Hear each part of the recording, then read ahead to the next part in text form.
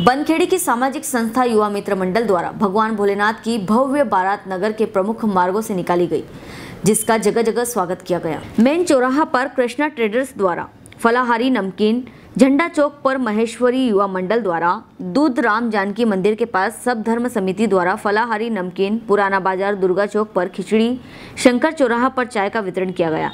इस मौके पर धर्म प्रेमी बंधु गणमान्य नागरिक भारी संख्या में उपस्थित थे। बनखेड़ी से जगदीश गढ़वाल की रिपोर्ट। हेलो फ्रेंड्स आप देख रहे हैं हमारा channel S W twenty four news हमारे सारे वीडियो सबसे पहले देखने के लिए आप हमारे चैनल को सब्सक्राइब करें और पास में लगे बेल आइकोन को दबाना बिल्कुल भी ना भूलें।